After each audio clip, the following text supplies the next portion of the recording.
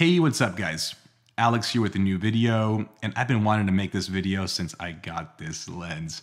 Today, we're talking about the brand new Sigma 50mm f1.2 for Leica L mount.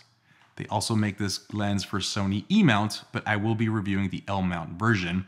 And if you can see here in the background, I also happened to pick up an SL3 about two weeks ago. As a matter of fact, that's where this story starts. I picked up my SL3 two weeks ago, and Sigma happened to reach out to me and asked me if I was interested in reviewing one of the first samples of their new 50mm 1.2.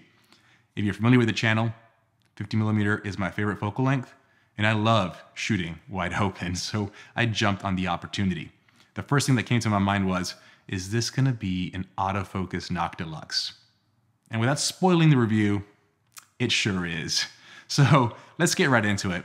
Looking at this lens, y'all, this is a Sigma lens. It's made out of metal, it's hefty, it feels great in the hand, has an aperture ring, autofocus manual focus switch, you can declick the aperture, and overall, it is a Sigma lens. The one thing you're gonna see that's a little surprising is this lens isn't bigger than the 1.4 50 millimeter Sigma makes. That's because this is Sigma's lightest Actually, this is the lightest 50mm f1.2 lens in the market, and this lens is actually a millimeter shorter than the 50mm f1.4. Now it is about three millimeters girthier, so it is a little bit girthier, but they also share a 72 millimeter filter thread. And did I mention this is the lightest 50 millimeter f1.2?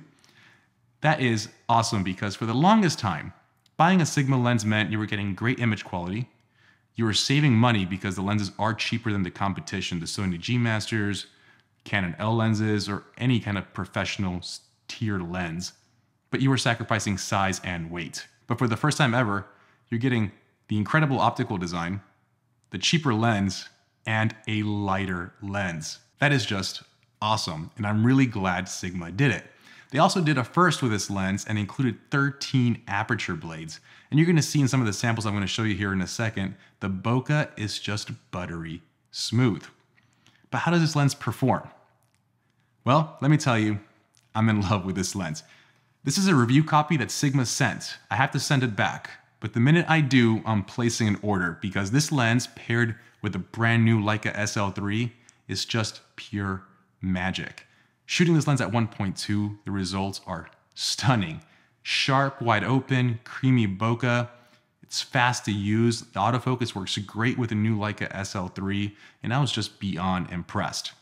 I did a family session with this lens, and with a family session, you have kids moving around, you have fast movement, and it performed great. I also did some street photography, and it also performed great. It performed great in low light, and anything I threw at it, this lens paired with the SL3 was a match made in heaven. Like I do with all my videos, I'm gonna be providing some image samples for you to download so you can play with them yourself. But I'm telling you, if you are an L mount shooter, you shouldn't look at any other 50 millimeter on the market. This 1.2 lens is a must buy. I have no cons because usually when I do Sigma reviews, uh, I'm impressed by the optical quality. But I always say, hey, this is a bigger lens, it's heavier, and that's a sacrifice you make. In this situation, you're not really making a sacrifice.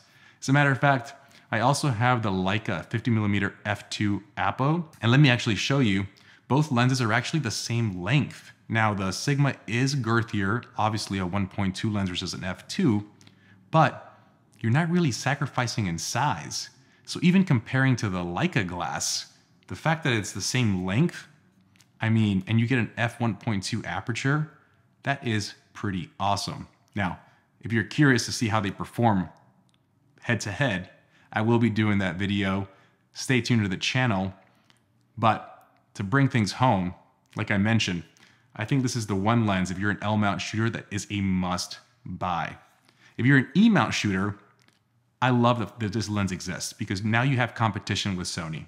The Sony lens is an incredible lens. I used to own it and I think it's one of the best 50 millimeters ever made. But this lens is gonna retail for $13.99 when it launches, and the Sony lens retails for $2,000, which means $600 less. Optically, I didn't compare them head to head, but let me tell you, I just wasn't disappointed by anything I saw. I was really impressed. And this lens is actually about 30 grams lighter than the Sony. I mean, you gotta love it when the competition heats up and when you get lenses like this. Like I mentioned, I'm giddy, I'm excited, I'm so happy this lens exists, and I actually wanna see Sigma continue to do this. I would love to see an 85 1.2 and maybe even revisit the 35 1.2 and make it smaller because that lens is huge. As a matter of fact, I think this lens is 35% smaller than the 35 1.2. Anyways, check out the samples I'm including because you're gonna see how magical this lens is. And if you're in the market for it, don't overlook this lens. I think it's a must buy. But you saw my images. Hopefully you're downloading them.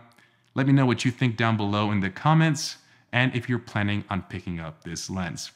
And yes, I am going to be making a video on the SL3 next, so stay tuned for that. And as always, guys, please give this video a like, please hit the subscribe button, and I will see you on the next one. Have a good one, guys. Peace.